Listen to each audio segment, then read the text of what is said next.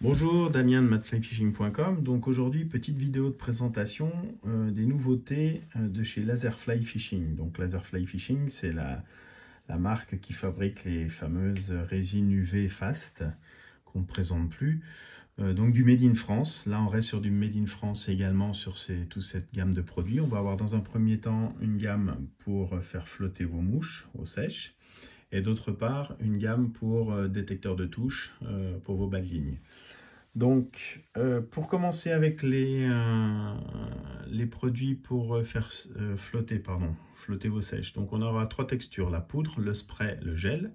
Donc, la poudre vraiment spécifique, l'extrême CDC, donc vraiment spécifique au, au, CDC. Vous mettez votre mouche avec votre bas de ligne à l'intérieur, vous secouez un peu. Euh, vous enlevez bien l'excédent et voilà, votre, votre sèche est quasi insubmersible.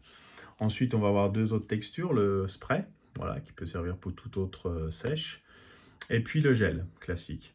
Euh, donc le petit avantage, à la limite, on va dire pour le gel, bah, vous allez pouvoir graisser toutes vos sèches, votre bas de ligne si toutefois il y a besoin. Et puis, moi, sur l'expérience que j'ai eue euh, quand je l'ai testé. Euh, j'avais ma soie, euh, j'ai fait une session en réservoir. Ma soie n'était pas super top au niveau de la glisse. J'en ai mis un petit peu sur un mouchoir, j'ai graissé ma soie et ça a été, voilà, j'ai pu faire ma session de, la journée. voilà, en termes de confort de glisse, c'était super. Donc voilà, ça peut dépanner pour ça aussi. Donc ça, c'est les produits pour sécher vos sèches ou tout du moins pour les faire flotter. Ensuite, on va avoir euh, les sticks euh, détecteurs de touche. Donc on va avoir, comme vous pouvez le voir, quatre couleurs, orange fluo, jaune fluo, rose fluo, bleu fluo. Donc chaque couleur a un peu son, utilité dans le sens où le orange fluo, euh, il va convenir à des fonds sombres, voire très sombres. le jaune fluo, également, on est sur des fonds moyennement sombres à très sombres. Le rose fluo, lui, peut faire, il peut déjà aller dans les, clairs et le, sombre. Et puis le bleu, qui peut vous paraître une couleur un peu originale, mais qui peut être très intéressante sur les fonds clairs à très clairs. Donc, c'est-à-dire les autres fontes. Euh, nous, en Haute-Savoie, on en a. Euh, voilà, ça peut être intéressant sur les eaux blanches. ou voilà. Et après, quand j'entends fond, c'est autant, ça peut être la couleur de l'eau que le fond, l'arrière-plan. Donc après, c'est pour ça que il faut bien comprendre une chose aussi, c'est qu'on n'a pas tous la même perception des couleurs.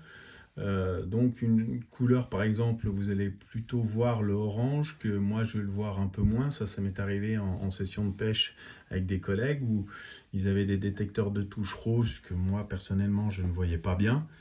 Et moi, mon jaune fluo euh, bicolore orange, je voyais super bien. Donc voilà, ça c'est euh, chacun un peu ses teintes et ça, c'est propre à chacun. Donc après, à vous de faire votre... et en fonction des rivières auxquelles vous, vous pratiquez. Quoi.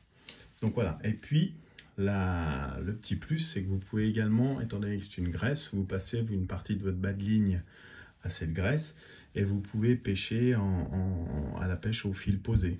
Donc voilà, pour vous permettre de, voir, les, de voir les touches. Donc voilà, euh, ça c'est les, nouveautés 2024 euh, pour cette, euh, pour cette ouverture. Donc, autant pour pêcher en infofil, autant pour pêcher en sèche. Donc, normalement, vous êtes paré pour une bonne ouverture. Donc voilà, au plaisir, merci.